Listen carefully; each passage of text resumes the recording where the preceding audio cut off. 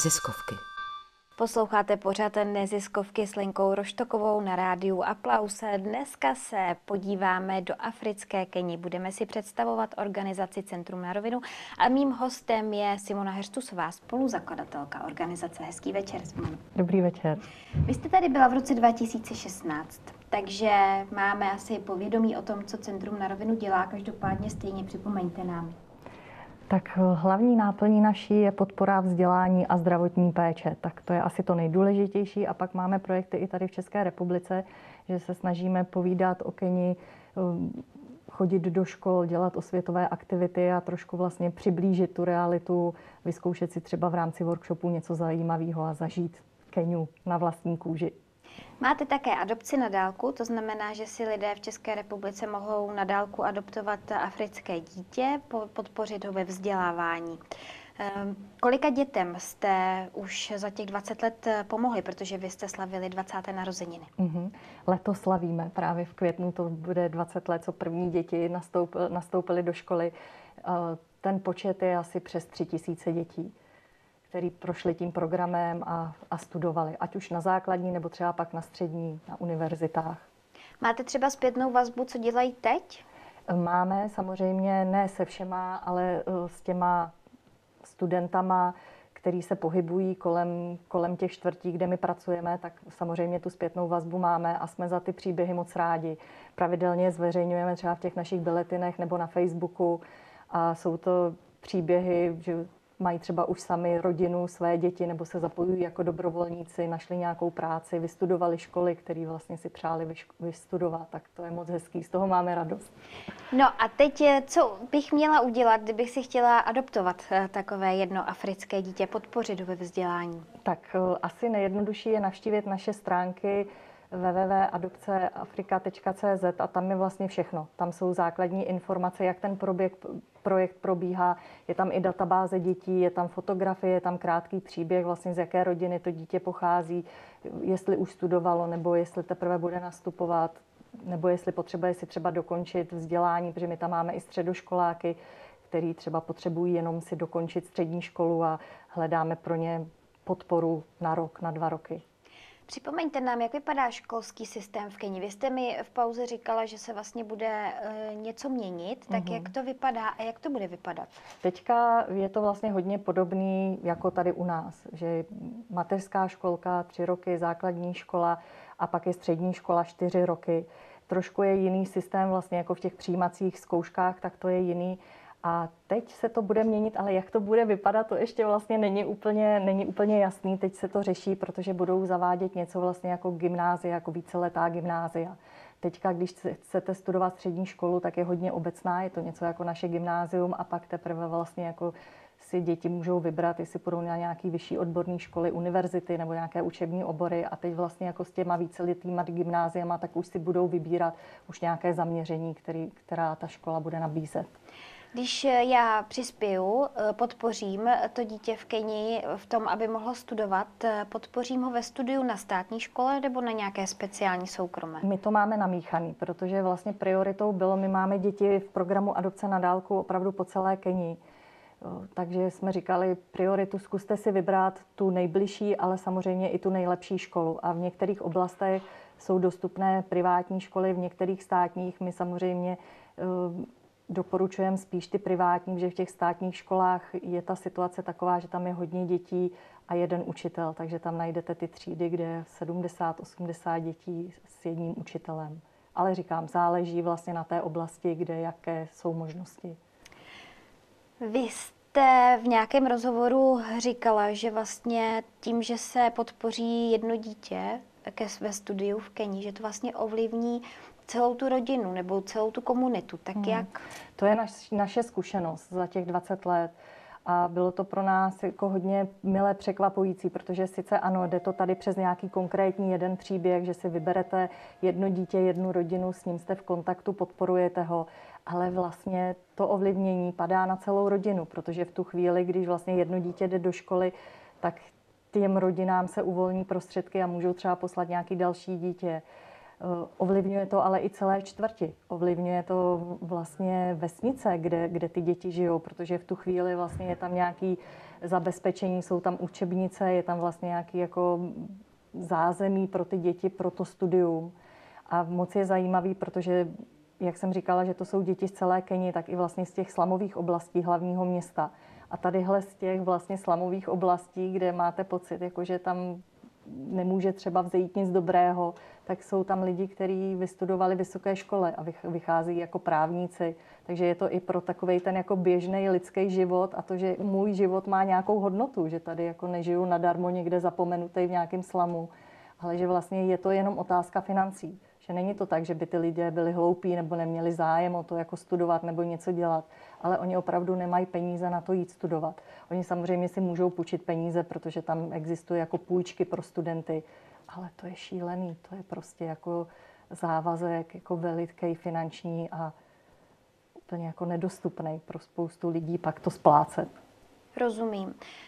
V Keni to chodí tak, že vlastně v rodině, že vlastně muž obstarává obživu, vydělává peníze, žena často bývá doma a stará se o děti, nebo respektive je to takový nejtradičnější model.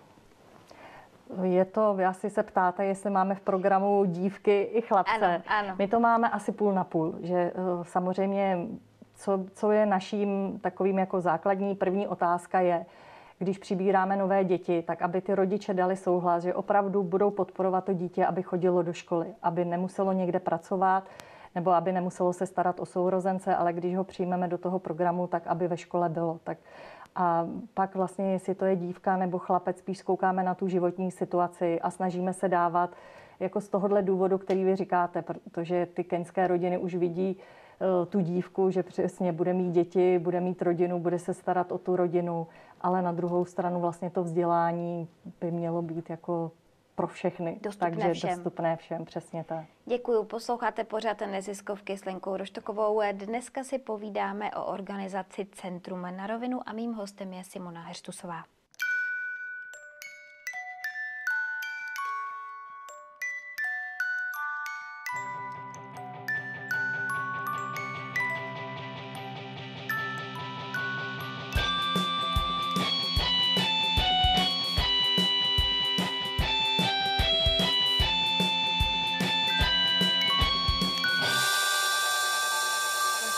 Pořád neziskovky s Lenkou Roštokovou. Dneska si povídáme o organizaci Centrum na rovinu a mým hostem je Simona Herštusová.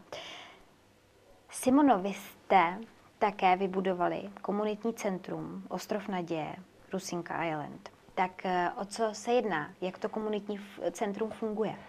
To jsme začali v roce 2003, takže loni jsme slavili krásné 18. dospělost projektu a začali jsme vlastně tak jako všechny projekty. My jsme kontaktovali studenty v Nairobské, před Nairobskýma univerzitama a právě jeden student Ken pochází z ostrova Rusinga Island, takže nás tam vzal a viděli jsme tam tu situaci, že tam chybí nemocnice, že tam chybí vlastně škola dostupná, takže jsme začali postupně stavět a budovali jsme tadyhle to komunitní centrum. Takže dneska už je tam vlastně Eh, škola od mateřské školky až po střední školu. Už tam máme vlastně i čtyři roky středoškoláků.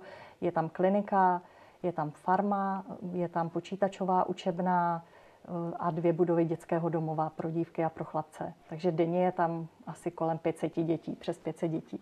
Mně se na vaší organizaci líbí především to, že vlastně vy tam nejste fyzicky, eh, ne, netlačíte, když to řeknu, prostě do toho peníze, ale učíte se vlastně, nebo učíte ty lidi tam, aby, aby se vás zvládli o tu komunitu, o ten ostrov, o ten život tam vlastně postarat sami.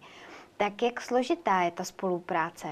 No tak samozřejmě člověk tam přijede z Evropy, má pocit, že nějak ty věci fungují, ale pak přiletíte do Afriky a zjistíte, že trošku to funguje jinak, že ten čas funguje jinak a doprava funguje jinak a jízdní řád funguje jinak, takže myslím, že to je učení se navzájem. Eh, ale přesně to byl náš cíl, protože my jsme vlastně když jsme tam s kolegyní odjeli, tak jsme neměli nic. V podstatě jsme měli jenom nadšení začít budovat nějaký projekty, pomoc vlastně dětem, aby mohli se vzdělávat, ale neměli jsme žádné finance, žádné granty, žádné peníze. A hledali jsme lidi, kteří by to viděli stejně jako my. A tenkrát jsme ještě byli vlastně jako dobrovolníci, ještě jsme nebyli zaměstnaní v té organizaci, ale pracovali jsme jako dobrovolníci a hledali jsme lidi, kteří by to viděli stejně, kteří by vlastně jako chtěli něco dělat tadyhle v těch dvou oblastech. No a našli jsme lidi, kterým se to moc líbilo, ale postupně se to tak jako roz, rozrostlo a rozrůstalo, že už to nešlo dělat jako jenom dobrovolně a hledali jsme zaměstnance. Takže v současné době vlastně máme pět zaměstnanců v České republice, pět v Keni a pak teda velkou škálu dobrovolníkům, který moc děkujeme, že bez nich bychom to taky nezvládli zorganizovat všechny ty projekty. A ty dobrovolníci jsou z Keni nebo jsou z řad českých I z Keni, i z České republiky, protože samozřejmě eh, ta administrativa vyžaduje mi vždycky, když skončí školní období, tak vybírají vysvědčení, fotky, dopisy od těch dětí, pak vlastně jako musí to poslat do České republiky. Tady zase v České republice my to musíme zaevidovat, co přišlo, eh, poslat to tady českým adoptivním rodičům, takže tohle pak děláme akce dobrovolníci, kteří nám pomáhají vlastně na akcích, jako prezentovat ty projekty nebo i prodávat věci, které dovážíme z Keni. Takže to všechno vlastně nám pomáhají dobrovolníci, ale i hledat třeba adoptivní rodiče že když se vyberete nějaký dítě, tak je tam kontakt na dobrovolníka, který podá vlastně všechny informace a pak my v kanceláři zprocesujeme tu administrativu. Já jsem spíš myslela v tom komunitním centru, tak to eh, na tom taky ostro, lidi. ostrově ano. Naděje. Vlastně oni to dělají jako placenou práci? Ano, tam vlastně jako jsou tam nějaké věci, že třeba když studenti nemůžou platit školné, nemají na to, tak samozřejmě třeba ta maminky chodí pomáhat a nějak vlastně jako vypomáhat, aby to celé fungovalo, nebo pomáhat na farmě a tak dále, ale jinak vlastně se snažíme i těm lidem zaplatit, protože to jsou učitelé, kuchaři, vlastně jako lidi, kteří tam pracují, takže to, to jsou placené. Proto to je vlastně velký objem a proto i hledáme eh, sponzory a firmní partnery, který by se do toho zapojili a pomohli nám. Musím se zeptat, jak složitá byla vaše práce v době pandemie a jak vypadá, nebo vypadala pandemie vlastně v africké hmm. Keni? Tam vlastně to bylo trošku jiné v tom, že nebylo testování, takže se nevědělo, ty příznaky byly stejné jako u malárie, takže lidé přišli do nemocnice s kašlem, s vysokou horečkou, odcházeli s antibiotikama, s práškama vlastně na, na malárii. Pak se začalo testovat, takže se samozřejmě jako začaly objevovat i případy tam. No ale v tu chvíli, když to narůstalo, tak jako tady se zavřely školy, vlastně bylo omezení i pracovní, tak takhle to dopadlo i v Keni.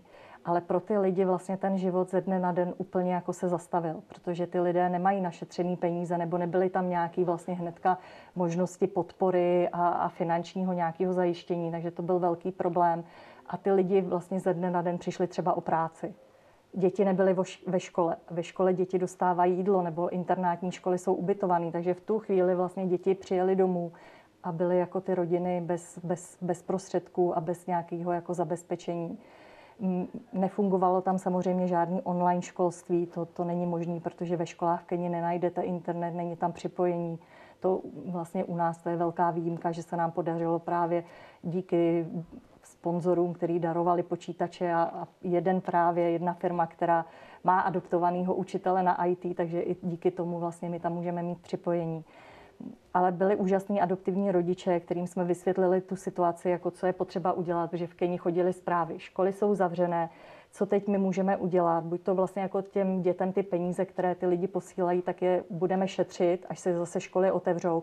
A nebo pokud ty lidi budou souhlasit, tak vlastně musíme těm lidem nakoupit jídlo nebo nějaký vlastně jako hygienický, zdravotní potřeby, které v tu chvíli jako ty lidi potřebovali. No a naši adoptivní rodiče, což je vlastně asi 1500 lidí, kteří jsou do toho takhle jako aktivně zapojeni, tak zareagovali úplně krásně, že souhlasili skoro všichni.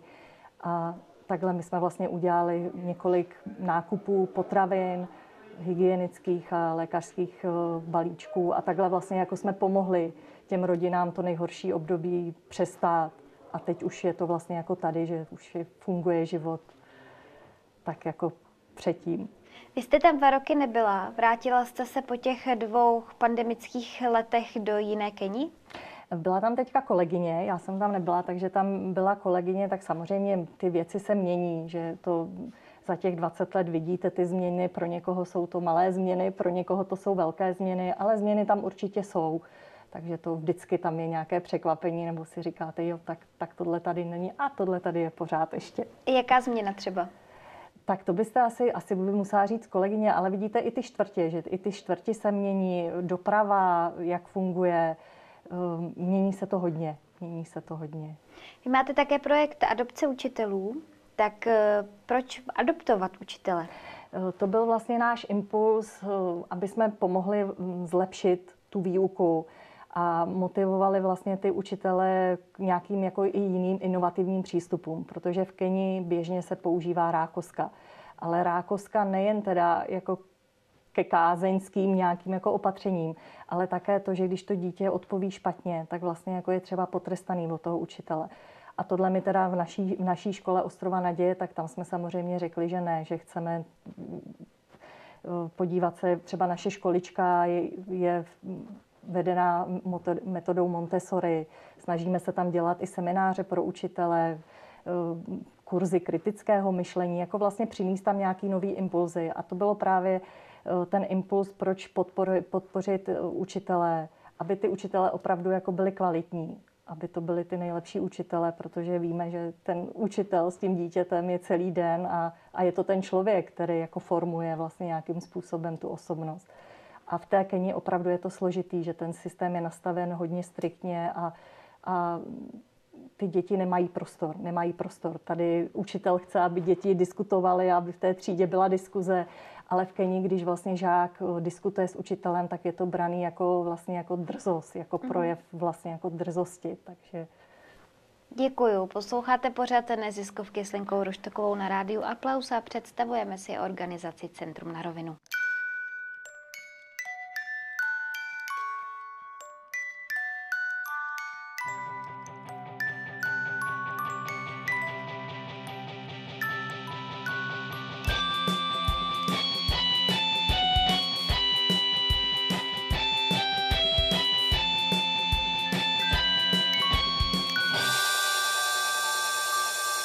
Neziskovky. Posloucháte pořád neziskovky s Lenkou Roštokovou na rádiu Aplause. Dneska jsme na výletě v africké Keni a povídám si se spoluzakladatelkou organizace Simonou Herstustovou. O organizaci, o které se bavíme, Centrum na rovinu. Tady na stole máme spoustu zajímavých věcí. Co to je? Já jsem přinesla na ukázku vlastně věci, které dovážíme z Keni do férového obchůdku. Takže dovážíme třeba čaj, černý kávu, 100% arabiku, pak různé takovéhle jako eh, věci z mastku, kámen mastek, náušnice od různých kmenů, tadyhle třeba ty barevné, tak ty vyrábějí masajové v Keni, tady pak jsou nějaké náramky ze semínek, a tohle je zajímavé, to jsou papírové náramky. To mě překvapilo, to vypadá jako klasické české korálky, mm-hmm. ale je to z papíru a je to opravdu jako tvrdý materiál. Je ano, je, je to moc hezký a vlastně my jednak jsme tím, vlastně tím obchůdkem chtěli podpořit ty místní výrobce, ale pak samozřejmě byl náš i záměr, aby jsme měli finance na rozvoj Ostrova naděje, takže výdělek vlastně, který utržíme za ty věci, tak vracíme na zpátek do toho projektu. Takže když si cokoliv koupíte, tak vlastně víte, že podporujete vzdělání a zdravotní péči dětí Ostrova naděje. Oni to tam vyrobí a pošlou? Ne přímo v Ostrově naděje. Vlastně jsou to různí výrobci a různé kmeny, že třeba ten mastek, tak to dělá kmen Kisy, pak, jak jsem říkala, Masajové. Takže to jsou vlastně jako různí lidé různých, z různých kmenů nebo výrobních dílen. E, my to vlastně nakupujeme a podporujeme je. Takže není to jako jeden výrobce, že bychom jenom na Ostrově naděje vyráběli. Ne.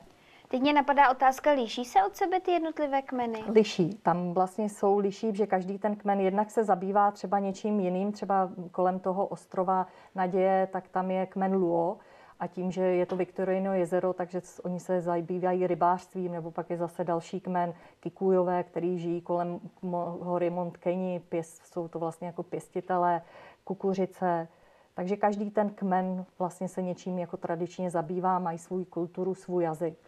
Aha, svůj jazyk. Hmm. Takže se mezi sebou jednotlivé kmeny nedorozumí. No ne, je to vlastně, když děti chodí do školy, tak úředním jazykem je angličtina a svahilština. Svahilština je právě jazyk, který spojuje ty kmeny, ale pak každý kmen má vlastně jako svůj kmenový jazyk. Takže, a každý kmen třeba vyrábí něco jiného? Uh, vlastně úplně nevím, jestli každý kmen něco vyrábí, ale když jsou ty kmeny, tak se jako zabývají tradičně nějakým řemeslem, takže vyrábějí.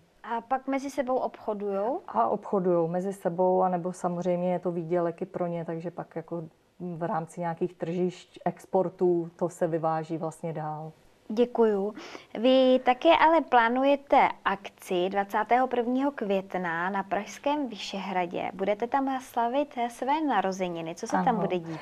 My právě plánujeme takovou akci, kde bychom jednak chtěli pozvat africké umělce, který tady jsou. Spojili jsme síly s Tvůrčí Afrikou a festivalem Benso, takže to bude vlastně ve spolupráci. A při té příležitosti jednak bychom chtěli moc poděkovat. Poděkovat vlastně všem lidem, kteří se do toho zapojili, všem sponzorům, kteří nás podpořili a oslavit to společně takovouhle akcí. A i třeba informovat vlastně veřejnost, která třeba nás ještě nezná, že je možný takhle podpořit někomu vzdělání a vlastně mu úplně změnit ten život.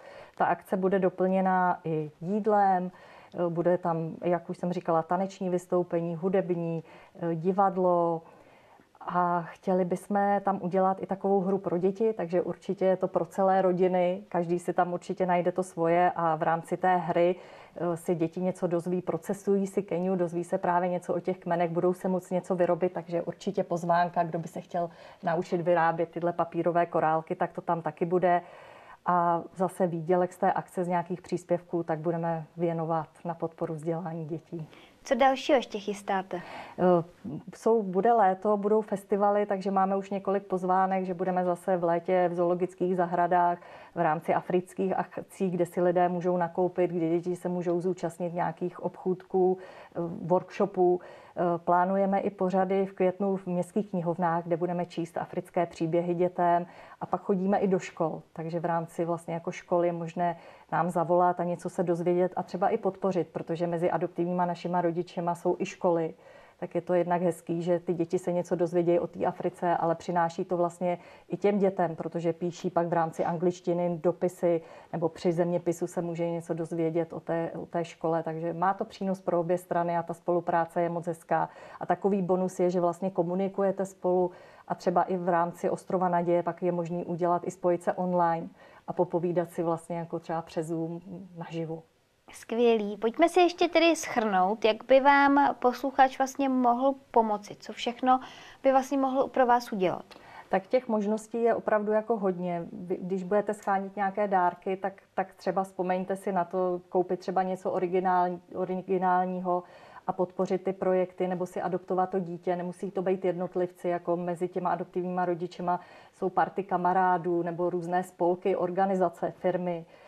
Pak taková ta náročnější spolupráce, tak máme i pro firmy, že může vlastně jako firma se zapojit do toho, stát se partnerem a třeba si vzít na starosti a podporovat nějakého učitele a tím vlastně i podpořit ten projekt. No a my jsme letos před velkým rozhodnutím, protože nám skončily vlastně podpory z České republiky už dlouho nemáme žádnou. Teďka vlastně naposledy to bylo ze Slovenska, protože na Slovensku ještě je prioritní země Kenia, takže jsme byli podporovány klinika naše a to skončilo takže máme velké těžkosti udržet střední školu. Takže kdyby byli lidi, kteří by byli ochotní podporovat nějakého středoškoláka, vzít si ho do péče na čtyři roky a umožnit mu to vzdělání, tak by nám to moc pomohlo vlastně v tom výhledu, že bychom věděli, že to zvládneme.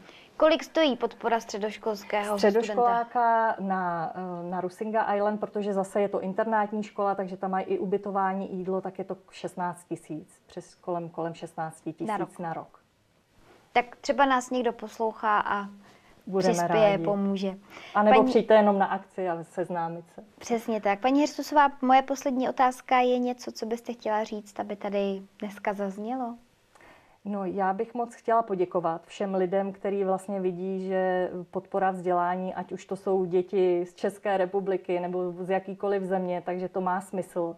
A, a moc se mi líbí vlastně ta solidarita, že to není zúžený jenom na ty naše sousedy, ale že bereme, že i ty Afričani, že i ty lidi v Africe jsou vlastně našimi sousedy a můžeme takhle jako si pomáhat společně. Děkuji moc, děkuji, že jste přišla už po druhé do pořadu neziskovky. Určitě se tady nevidíme a doufám, že se tady nevidíme naposledu. Naposledy přeju vám hodně štěstí a uh, hodně dárců. Moc děkuji a budu se těšit, ať se daří. Děkuji. A vy, milí posluchači, vám už přeju krásnou dobrou noc.